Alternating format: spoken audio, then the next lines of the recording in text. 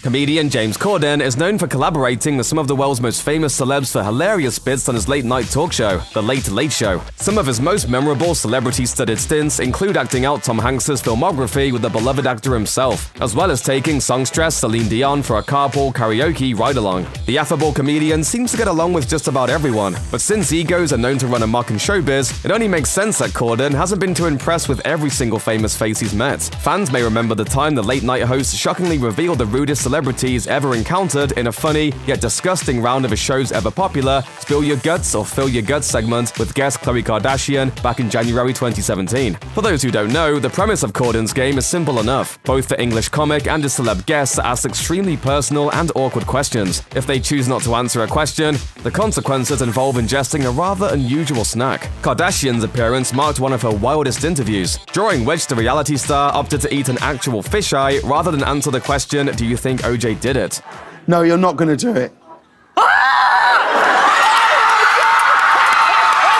Eating a fisheye was certainly a bold move, but Corden's decision to answer a certain burning question may have been even more daring. With a glass of bird saliva sitting in front of him, Corden started stammering when Kardashian asked him to name a celebrity who had been rude to him at a party. There was someone.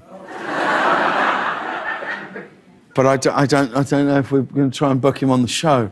However, Kardashian refused to let Corden get away without revealing the identity of the mystery man, much to the audience's delight. Why would you want to book him if he's rude? Screw him and tell us the name. Reluctant as he may have been, the late night host was way more willing to spill the tea than down a glass of bird saliva. I'm Pierce Brosnan. Oh.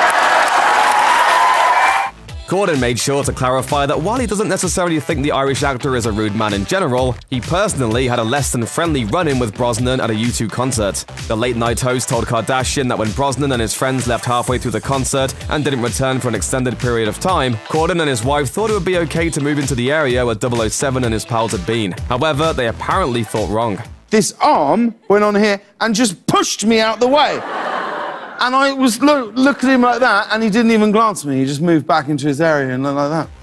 No stranger to controversy herself, the Keeping Up with the Kardashian star tried to give Brosnan a little bit of credit, but Corden just wasn't having it. Maybe he was drunk. Maybe he's just a bit rude. Yeah. While he fearlessly alleged one of the most beloved actors of an entire generation as a bit of a bad side, the comedian curiously refused to drop another big name when Kardashian later asked who'd been the worst singer on Carpool Karaoke. I can't. I just think it's so unfair to answer that. oh. I mean, I could tell you who it is.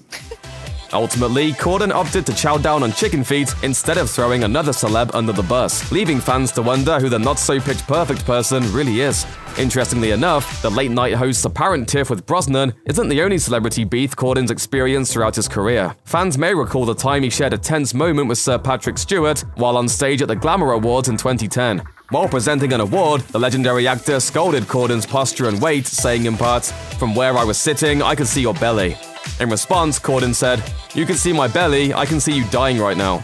Stewart expressed regret for trading insults with a comedian and even appeared as a guest in the Late Late Show years later, proving that his awkward televised clash with Corden was thankfully water under the bridge. As for Corden and Brosnan, at this point, a reconciliation between the two seems unlikely. Check out one of our newest videos right here. Plus, even more Nicki Swift videos about your favorite celebs are coming soon. Subscribe to our YouTube channel and hit the bell so you don't miss a single one.